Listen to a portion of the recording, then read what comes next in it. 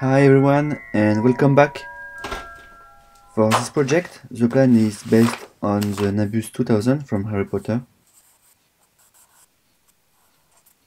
As far as what I'll be using, I have this piece of Robinia pseudo-acacia, or black locust, or Robinier faux acacia in French. This tree is considered as invasive species in Europe. You can eat the flowers, but the rest can be quite toxic to humans and animals due to the presence of robinin and lectin. The first step is to remove the bark and then get one side flat using the, a draw knife. It was the first time I used it and it, it needed to be sharpened, but it was a lot of fun to use.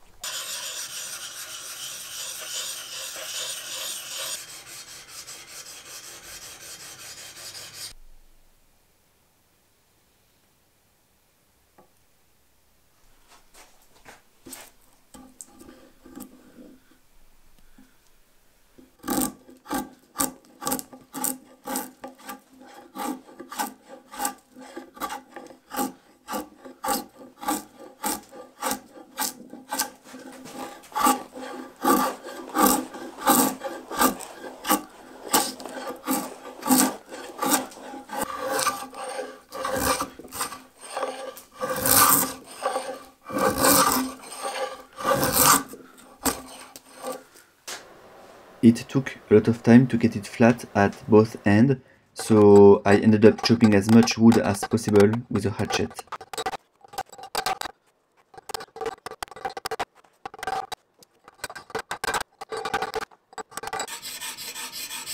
After sharpening again my draw knife, I flattened the other side too.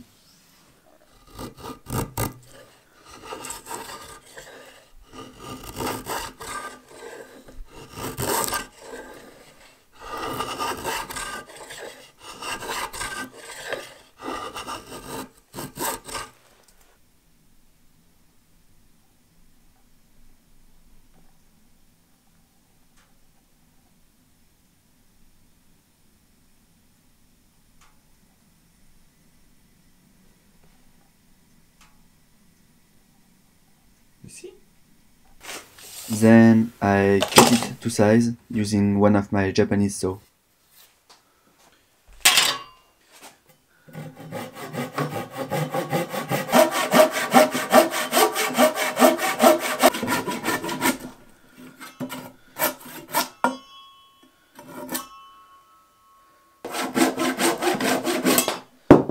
The wood is ready now to get the rough shape of the flying broom.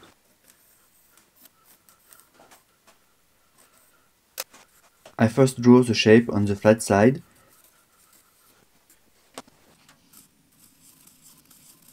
and went to the bandsaw to cut as much waste as possible.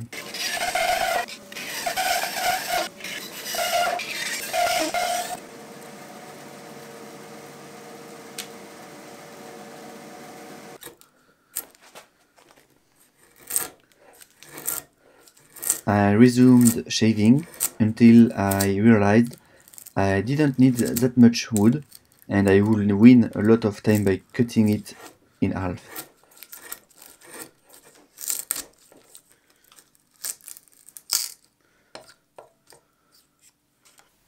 So I fired up a laser, drew a line and cut it in, a, in the middle.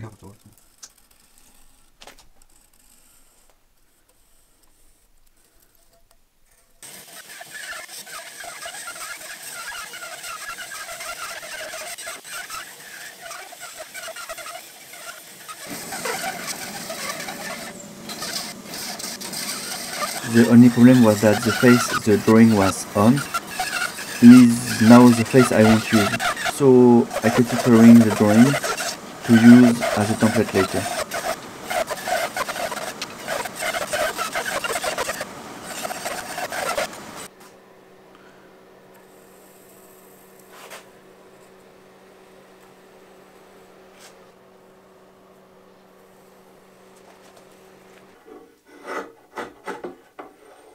After that I went back to shaving I started by the top of and bottom of the broom and then moved to the sides.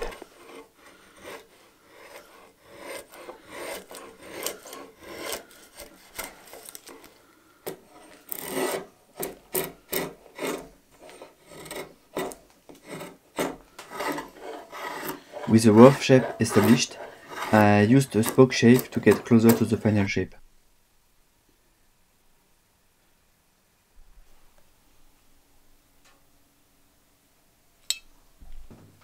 I especially careful to keep the broom straight. You don't want a curved flying broom unless you want to just to fly in circle. I guess going fast in circle is fun for some people, but it's not really my thing.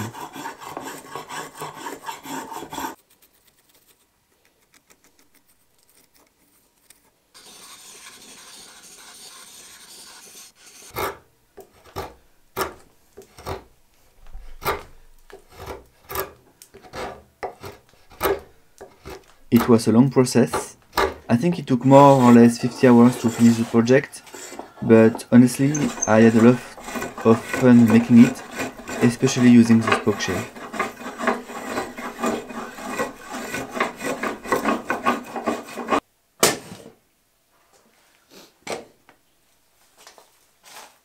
I checked if it was straight, and it was.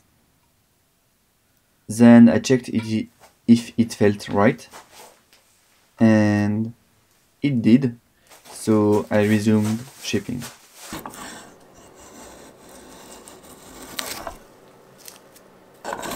As it was for my sister's birthday and I had other things going on before, I had only few days to finish it.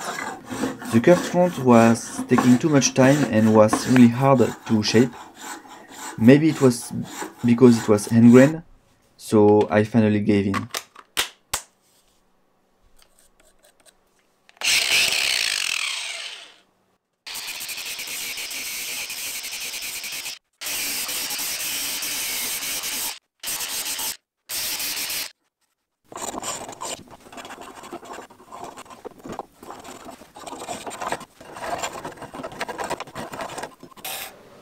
I used a cabinet scraper to clean all the marks left by the spokeshave.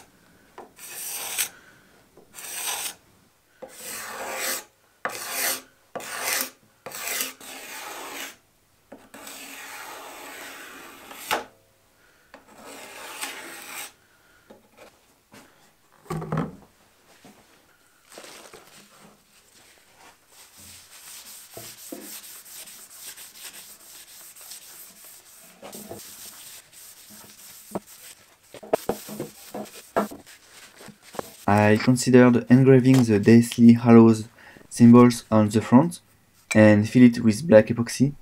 I even pra practiced it, but I hadn't enough time to let the epoxy cure. So in the end, I didn't do it.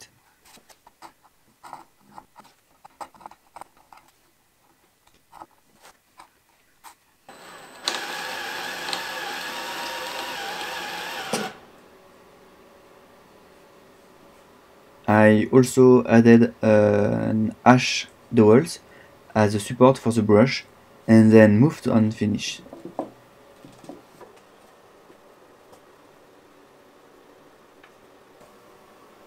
For the finish I simply used a hard oil and later polished it with some beeswax and linseed oil mix.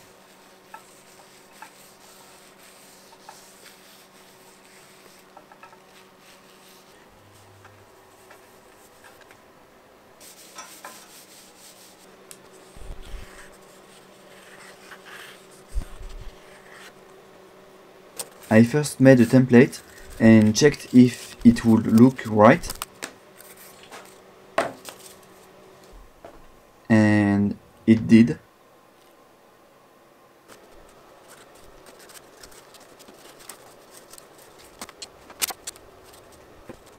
For the footrest, I wanted something darker than the black locust to give contrast, so I used some mahogany as stored up there.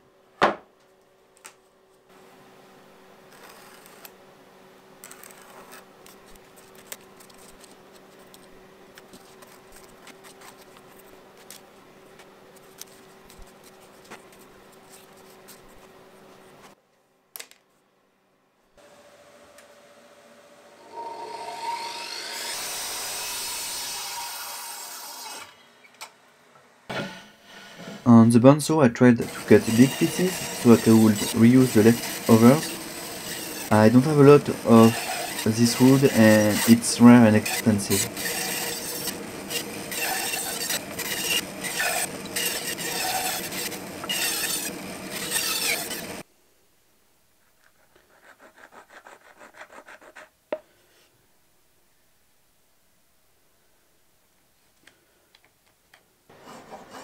Then I shaped it with the spoke spokeshave. I use the spoke spokeshave a lot during this project.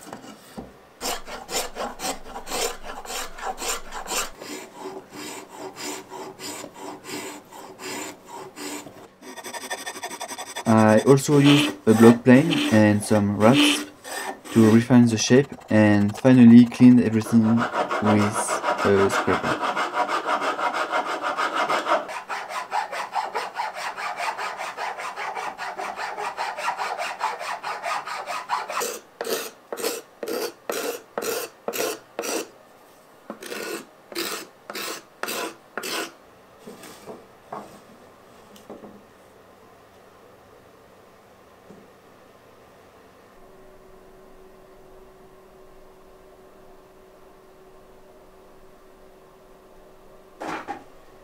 I wanted the footrest to be at an angle to the broom, so I made a template to carve the groove.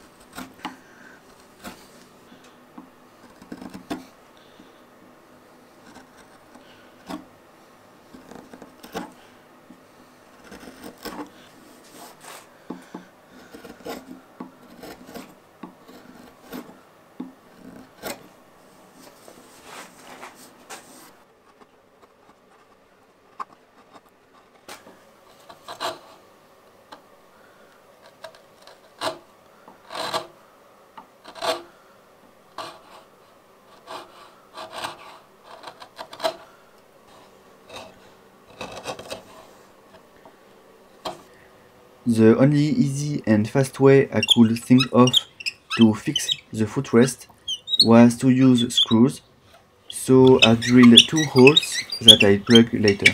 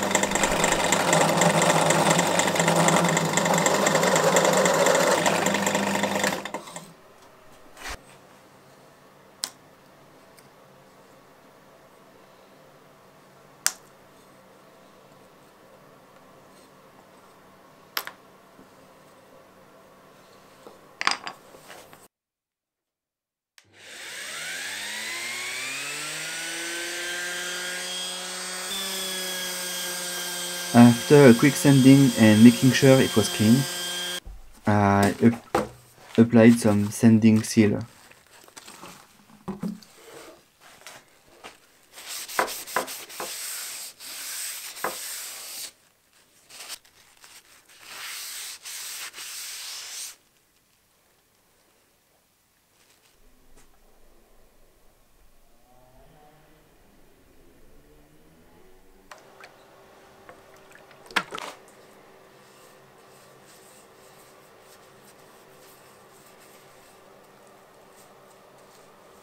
Then I sanded it and cleaned it again and finally applied some hard oil.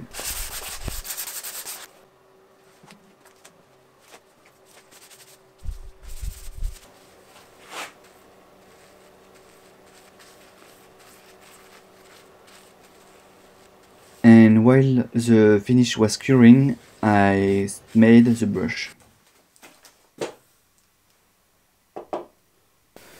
Alright, so having a nicely shaped broomstick won't make it fly. And if you want it to fly, you need a little bit of magic. And as you may know, the magic often com comes from magical creatures. Like for the wand, you can use phoenix uh, feather or dragon's heart. And luckily I have a magic creature at home. Alright, so this is Nessie. And she she's my magical creature. so why is she magical? First, she has some angel's wings on her back. I don't know if you can see them, but I'll put a picture. Also, how is it possible for the dog this short to be to be this long? Why is she possible to eat that much snacks and still be hungry? Also, how is it possible for a dog to shed that much? I mean, it's incredible. So she's magical and I'm going to use some of her uh, shadings. When I groom her, I keep some of her shades shading for project like this one. So she provides the magic needed for this project. Yeah?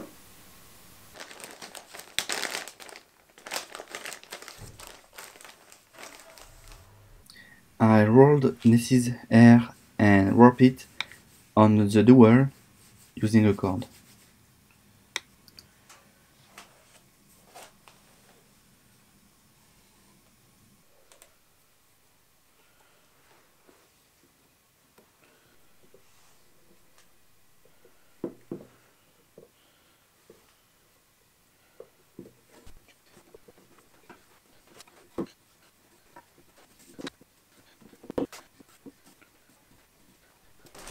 For the brush, I got this Heather privacy screen at a hardware store.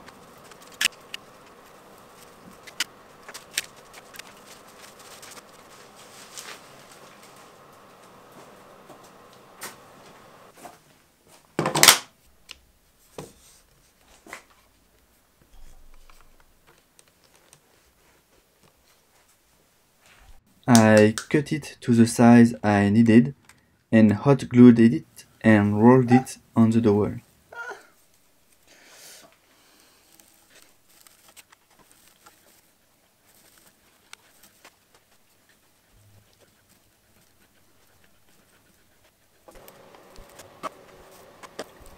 I added different layers until I had the shape I liked and used some hose clamp and zip ties to tie it together.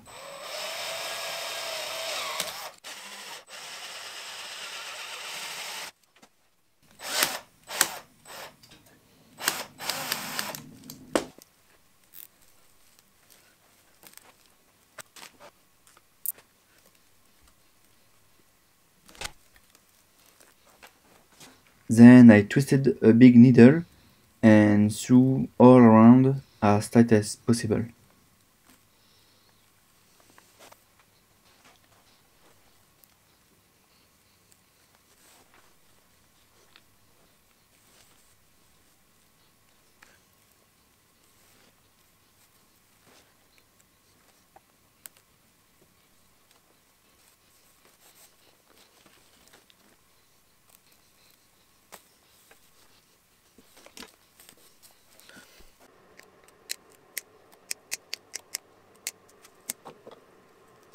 I also removed all the metal wires I could see.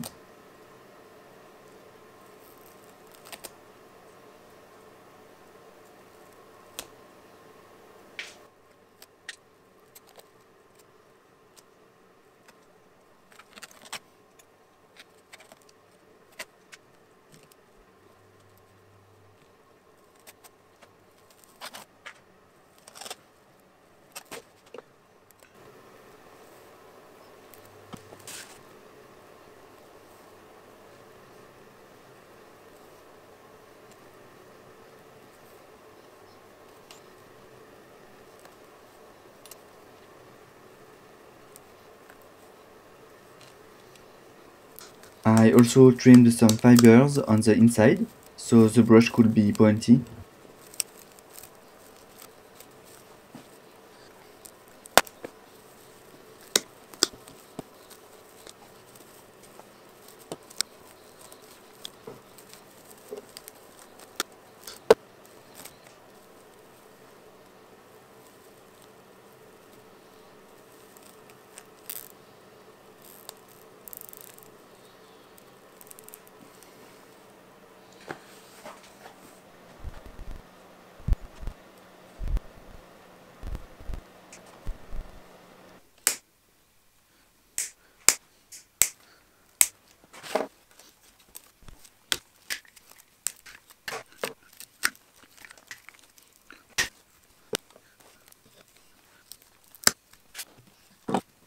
And after a final trimming, I went on the final assembly.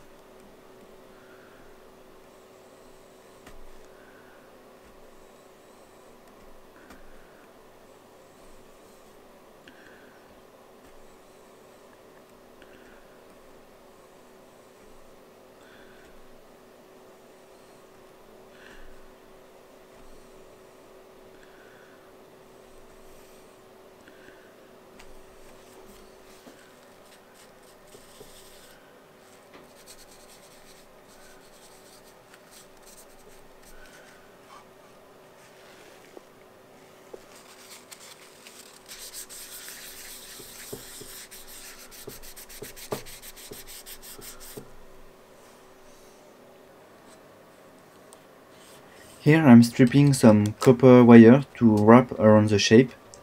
When I looked at the Nimbus 2000 picture, it has this feature I like and this is what I'm making here.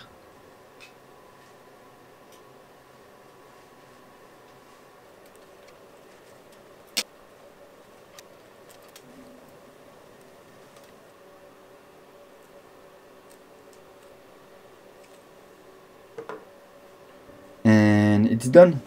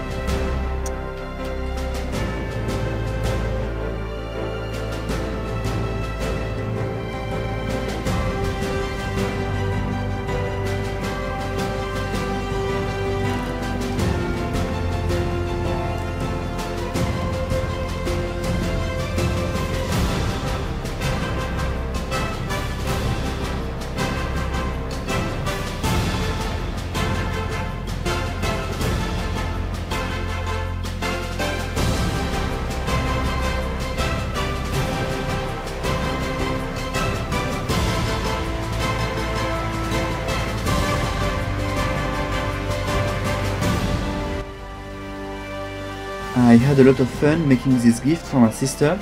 I hope you liked this video. If you did, please like, share and subscribe. Don't forget to follow me on Facebook and Instagram. And you can also support me on my Etsy store and on Tipeee and Patreon. Thanks again for watching and I see you next time. Bye!